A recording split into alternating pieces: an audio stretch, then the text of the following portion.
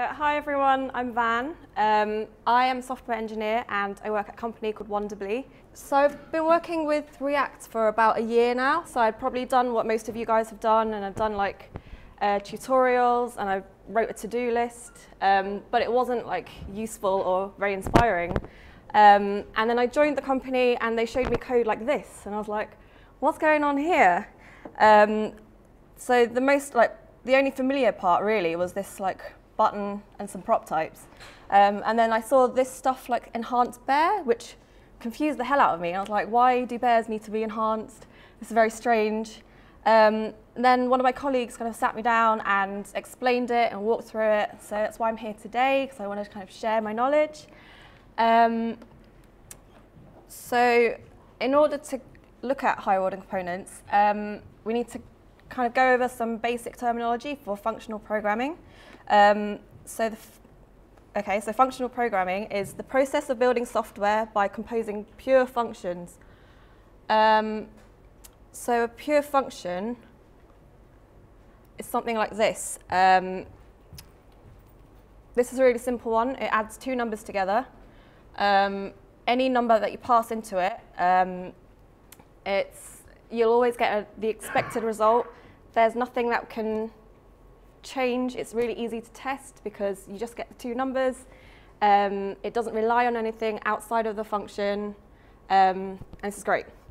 Um, this is an example of an impure function. So you've got x where I've introduced um, shared state. So someone could come along and change the value of x, um, and then if someone else tried to use the bad sum function, they wouldn't really understand what's going to come out of it.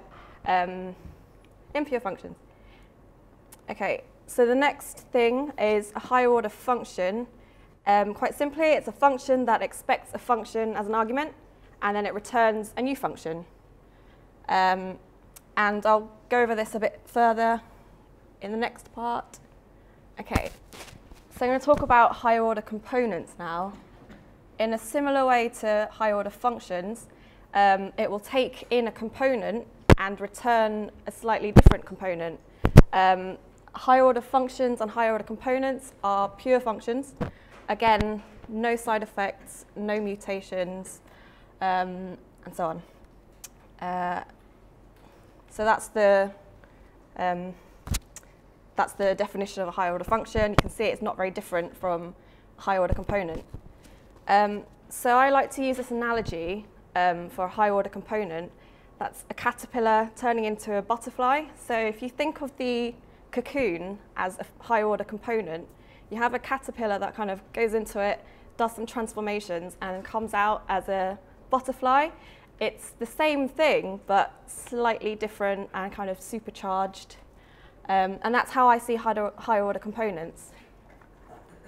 Um, so this is an example of a really basic um, high order component. Um, you can see it's a function. It takes in a component and then it wraps it in a new component um, and then renders the original component. It adds some stuff, list of bears, because the component needs a list of bears. Um, okay, so in summary, um, higher order components are pure functions. Um, it means you can clean up a component and take out um, all the handlers, um, any lifecycle methods and stuff, separate them out so that you have a pure presentational function, uh, presentational component. Um, it's a lot easier to read. Um, and then if you have a bunch of higher order components, you can reuse them and wrap multiple components with them elsewhere in your code. Um, so we're going to take a step back into functional programming just to cover one last thing, um, function composition, and it's the act of putting two functions together to form a third function, where the output of one function is the input of another. Um, the more I look at this sentence, the more confusing it gets. Um, so hopefully this will clear it up a little bit. So I've got two basic functions, one that triples a number, and another function that will round that up to the nearest whole digit. Um, and then the third function is like a mishmash of the two together, and that's um, composition. It's just uh, multiple functions chained together. Um, uh, So to recap, pure functions are predictable, they don't allow for any side effects, um, they don't mutate any data elsewhere, um, there's no shared state. A higher order function is a pure function that returns another function. A higher order component is a type of higher order function that returns a component instead of a function. Um, and composition is the act of merging them all together. Um, okay, so we use a library um, at Wonderbly called Recompose, which um, makes chaining up of higher order components really nice. This is an example of not using Recompose. So you can see it's a bit uh, confusing. There's loads of like nested uh, function calls and if you're going to wrap more higher order components on it, it's just going to look horrible and messy. Um, so this is what recompose does. So you've got a compose function and now you can list all your higher order components in order. Um, it makes sense. Um, it's readable. Someone else can jump in on the project and know what's going to go on. Um, so then we go back to the original code where I was really confused and now we can break it down. So you've got your connect, which is your Redux store if you use it. Um, with tracking as our own higher order component. With handlers is part of recompose that uh, adds in a bunch of functions. And then map translations is our own. So now we can see um, what each of the things is doing. Um, and you wrap it around the original function and then that's that. Um, so Recompose also has a bunch of other utility functions. So we've got with props where you can pass extra data to your original component. Um, with state and with handlers work together. Um, with state allows you to uh, have internal state for your component rather than global state using your Redux store. Um, handlers are like what happens when you click a button. Um, but it means you can take all of this out of your component um, and separate the concerns.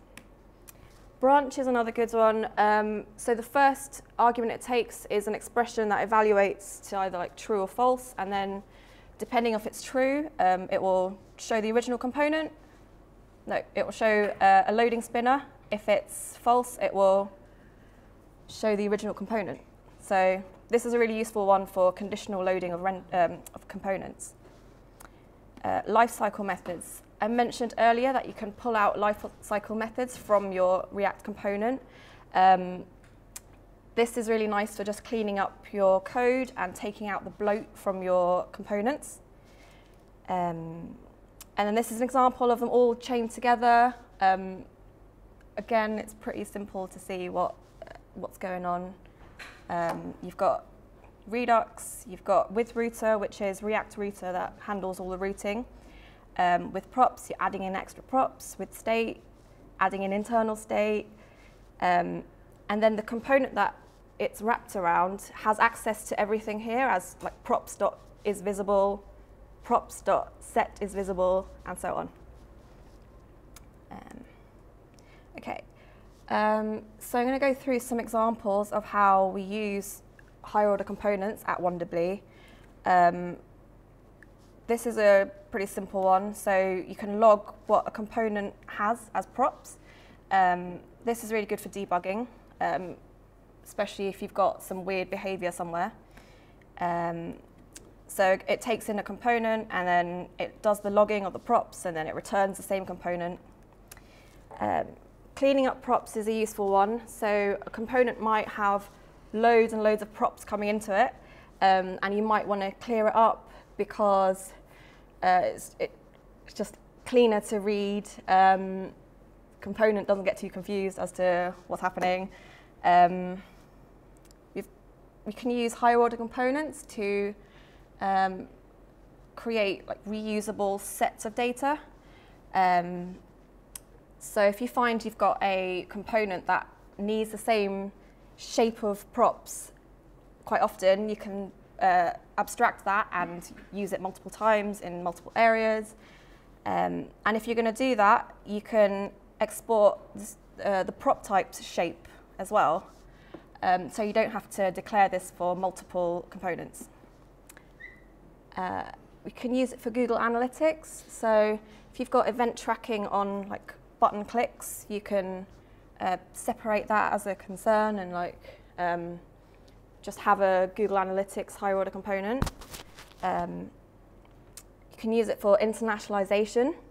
So we use a service called OneSky that holds a bunch of keys like bears.button.cta and then we pass it a language and then the service OneSky will give us the translated string in that particular language.